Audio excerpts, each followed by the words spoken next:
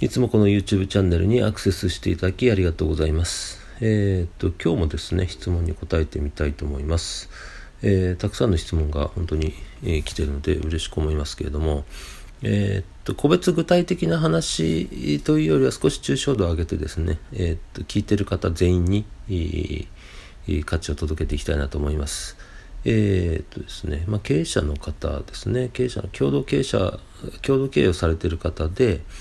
えー、っとその中で自分自身の、まあ、また課されてる事業ビジネスの部分と、えー、それをまだしっかりと立ち上げてから、あのー、いろいろやっていきたいという中でやっぱコーチングに興味を持ってるんですよね。だからコーチとして企業向けのビジネス向けのコーチをしながら、えー、コーチングのビジネスをしながら今のビジネスをあのやるやるべきなのかしっかりと自分自身の担当するビジネスをあの形作ってからある程度出来上がってから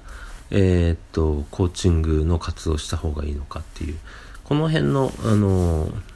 相談ですね。えー、っとまあいろいろあの個別に具体的に聞いてみないとわからない部分はもちろんあるので、えー、あくまで参考に聞いていただきたいんですけれどもこれはあのえー、この質問されている方だけのあの答えではなくてですね、え、皆さんほとんどの方が今やってる例えば仕事がありでこれからまた何か新しいこと始めたいと思った時に会社を辞めずに、まあ、いろんなものをこう情報集めたりとかしながら準備を始めることって多いと思うんですね。副業がどんどん解禁されてきてると思います。副業禁止規定が外れていく世の中になってきてますんでもう実質副業解禁かなと思ってもいいんじゃないかなと思うんですよね。でもちろん本業に支障がないことは前提ですけど、基本的にコーチングってどんな業界でも本業には支障がない、ぶつかることはないですよね。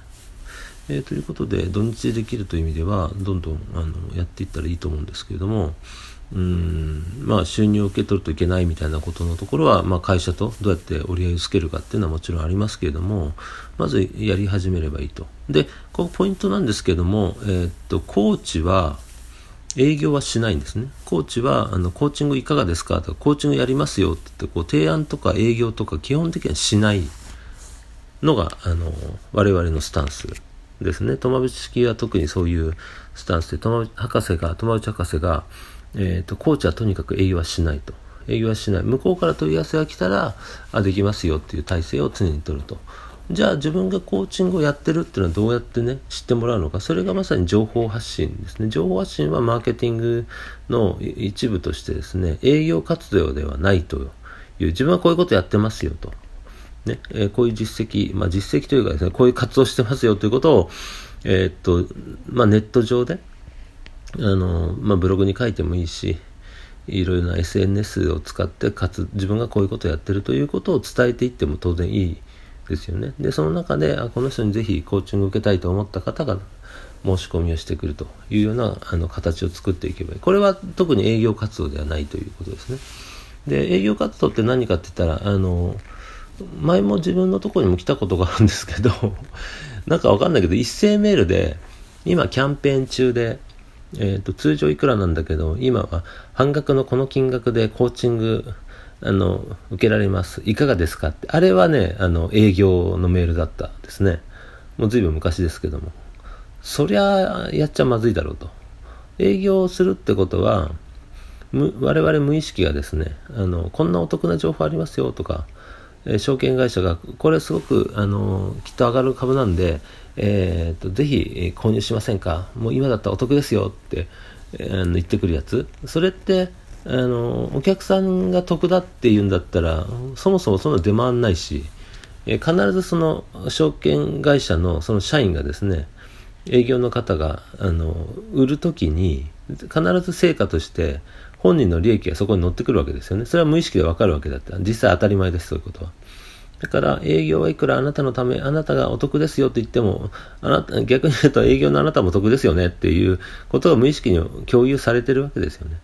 で、コーチがそれをや、あの、営業をやった瞬間に、コーチがコーチングに関する営業をやった瞬間に、それはコーチ側が利益を得ますよっていうのを無意識に感じちゃうんで、えー、そういう人にコーチングを受けたくないなというふうにまた思っちゃうわけですね、クライアントが。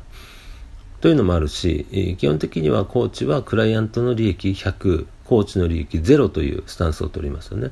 もちろん時間単価はいただくんです。時間30分、1時間いくらですっていうのを決めて、その中で、あの、その時間をですね、コーチがクライアントに提供するという意味で、えー、価値の交換ですからね、10日交換ですよね。同じ価値の交換を、時間を提供するコーチ。で、コーチングを受けるという、あの、メリットを享受する。そのためにお金を、時間いくらの時間をそのコーチ側にクライアントが払うという。だから価値と、うん、価値の交換ということですね。10日交換。で我々は割ともっと高い価値を提供してるんだけれども、まあ、このくらいで、えーえー、自分としてはあの割安だなと思いながら実はコーチングを提供してさせていただいてるんですけれどもあのそのつもりでやってますだから提供する価値よりもいただくお金あの対価としていただくあのお金の方が少ないなっていつも思いながらコーチングは全力で提供させていただいてるんですねまあでも少なくとも価値の交換にはなってる。ただしそれ以上の利益を我々は受け取らないんですね。それ以上の利益というかおかしいですけど利益は受け取らない。価値の交換があるだけっていうふうに捉える。で、えーと、営業活動するとそれが崩れるわけですね。えーと、無意識で、あ、なんかこれは利益を得ようとしてるなって、クライアントに思われた瞬間に、えーと、二度とそのクライアント、営業を受けた、え、クライアントはそのコーチにコーチングを発注することはおそらくないと思います。えー、まずは、だから、コーチは何をするべきかっていうところで言うと、えー、っと、マーケティング上こういうことやってますよってねコーチングの活動してますよっていうのをあのブログ上にネット上に SNS 上に発信するのは全然マーケティング上 OK だけれどもコーチングいかがですか？コーチングやりますよ。やった方がいいですよ。なんてことはそういう提案とかですね営業活動は一切しないっていうふうに覚えておいてください。で先ほどの話質問に戻るとですね今あの会社の経営をしてますと。でそれがある程度形になるまでえー、っとすぐコーチングをやるべきかそれともそれをビジネスが形になってからある程度形になってから売上利益を確保してからうんコーチングの活動するべきでしょうか？ってこれはですね私の答えで言うと,、えー、っとやりたければもうこの瞬間にやり始めればいいと思うし、えー、っとまだ先の方がいいかなって思うんだったら別に先でもいいと思います。でも、うん必ずこのまずは自分の自分自身のビジネスがしっかりと出来上がってない中コーチングができないなって思うのはそういうことではないかなと自分は思いますけれどもね。あのやりたければどんどんモントゥーで同時並行的にやっていけばいいと思います。で、えーと、エネルギーの注力が分散するじゃないですかっていう質問に対してはそれはないですよね。えーと、それこそあの同時に100とか200とかやるとそれはちょっと時間の制約が出てくると思うけれどもやりたいエネルギーっていうのはその分散の薄まるよりはそれを超えていくエネルギーがあると自分は思っているので3つ4つね10ぐらいは全然同時にできる能力は人間持ってるというふうにあの自分は思ってますんで全員が天才的な能力を持ってるんですね。この音声を聞いてる皆さんもお一人お一人がとんでもない能力をあの持ってます。ただしそれが発揮できてないと。えであればあの一つに注力しなくても同時に2つぐらいやっても全然問題ないというふうに自分は思いますんで、えー、っと自分は行くぞというエネルギーが出てるのであればどんどんやっていく。ただしその始めるのをコーチングという活動であれば、えー、っとコーチとして、えー、しっかりと学んでいくっていうことはとても重要になっていくんでそのえー、コーチングの理論を学ぶ実践方法を学ぶだけではなくてコーチとしてですねどのような日頃の活動をしていけばいいかやるべきことは何なのかやってはならないことは何なのかっていうのを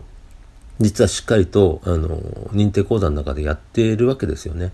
で表層的なものではなくても生き方そのものをやっぱり見直していく部分も出てきます。えー、そういう意味での認定講座だというふうに思っていただければと思うんですけれども、えー、まさにこれは売り込みではなくて本音でそれは伝えたいと思います。だから認定証を取る取らないというよりは、あのまさにコーチングの本質に触れる場でありますよと。そうするとですね、えー、いろんなこう疑問点とかですねコーチコーチとしてこれどうするべきだろうとかっていうのはだんだん自分自身で、あの見えてくるというかですね、えー、そういう質問疑問が減ってくるような状況になりますあとはまあ我々マスターコーチとしてですねあの認定コーチを育成する側でいつでも当然ながらあの問い合わせとかですね連絡いただければ対応するそういう体制をとってますんで、えー、うまく活用していただければと思いますまああのそれなりの期間いろんなあの経験をしてきてますんでそれはあの使えるノウハウとしてですね、えー、たっぷりそのエッセンスを伝えることはできるかなと思ってますので、えー、ぜひ参考にしてみてください。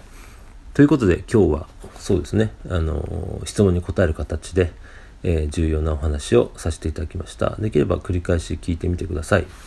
えー、今日は以上です。ワクワク様でした。